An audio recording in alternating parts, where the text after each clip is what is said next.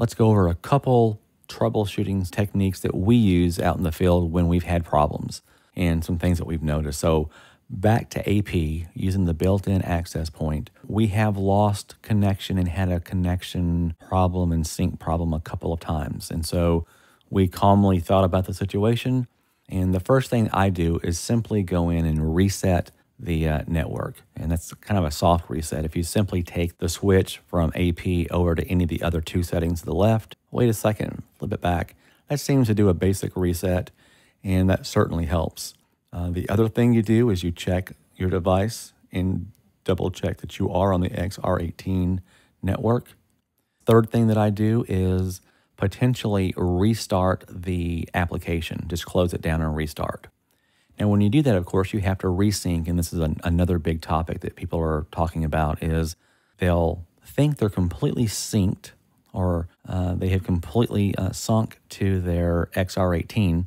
But what will happen is across the, let's say, 16 of the channels, the last four or five channels won't work and they won't mute or unmute or do anything. And what's happened there is the application did not completely sync and get all the data from the XR. And if you ever watch your uh, application sync, you'll see it go from left to right, and it will go through and do the top and then the middle and then the bottom. There's a, obviously a syncing process and a, a syncing sequence that goes on there. And at some point, it can get interrupted and never complete. So if you ever see anything like mutes not working or a few particular channels not working, I would immediately default to thinking that it means that uh, I didn't get a complete sync. And I would either, I'd probably close out my app and try it again. And that's exactly what I did at a gig during uh, just before sound check. Had a couple little weird issues going on. No apparent reason that I could think of, but I understood the situation and I understood uh, my basic logic how to overcome that. And sure enough, restarting the application, watching it all resync, going right to the end and making sure things would mute and unmute. And I saw levels. Uh, I knew I was in complete sync at that point. So the show went on uh, without a problem. If you um, have some major issues, uh, a few other steps to try would be to uh, take out a small pin or a paperclip, you know, size device and do a, a hard reset on the uh, AP Wi-Fi system in the Behringer.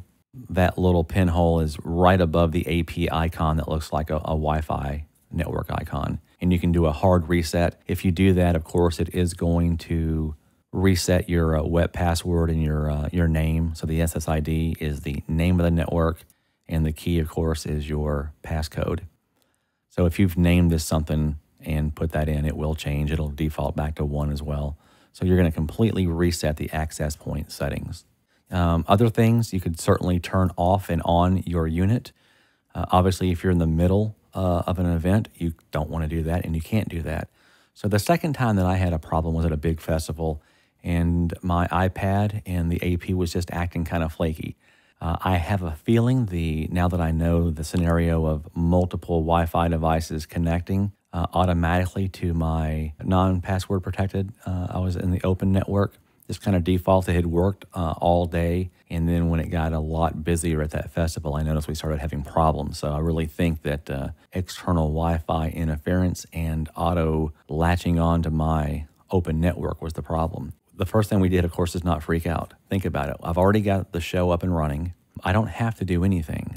You know, if I lose Wi-Fi, nothing's nothing's changed, nothing goes out. Uh, if I've got reverb on and the song ends, uh, it sounds a little bit tacky to have the lead singer talk with the reverb on, of course, and maybe I couldn't change that. In our case, it was not a big deal. I had a little bit of reverb only. So I didn't panic. It's no big deal. All I did was go up during the song break and I flipped my access point over to the left, waited a few seconds, back over to the right, and went back out to front of house position, which is just in the audience in a chair. And I got it. I got it right back. So that was something again that you know happened during an event.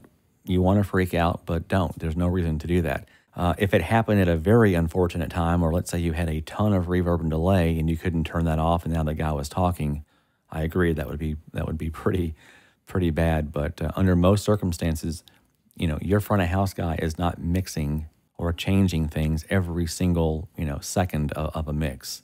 Uh, it's usually just between songs that he's turning verbs off and on and little tweaks here and there. So, you know, my advice is don't freak out and realize nothing's changed. You've just lost temporarily uh, Wi Fi connection. Calmly fix it and, and keep on going.